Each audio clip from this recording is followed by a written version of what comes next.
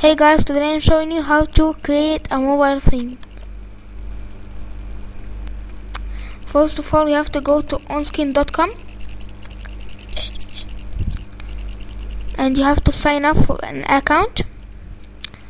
You just only need your email and then you to make a theme.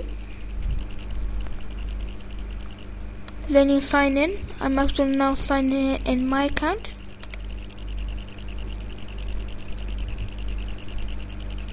Type your, new, your username and password.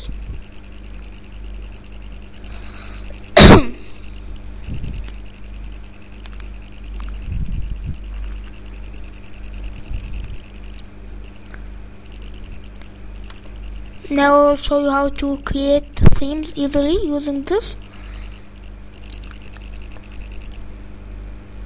You choose your mobile phone model um actually chosen mine? I actually recommend this one. The the professional mode. Actually this isn't a nice way to clear themes so I recommend the professional mode pro mode.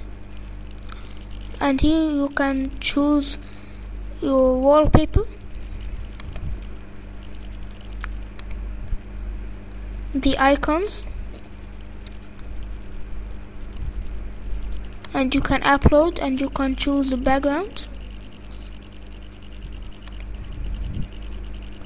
Here you can choose the background and you can choose everything. And when you're done you save it then people can download it and you you by yourself can download it and save it to your mobile phone. Thank you for watching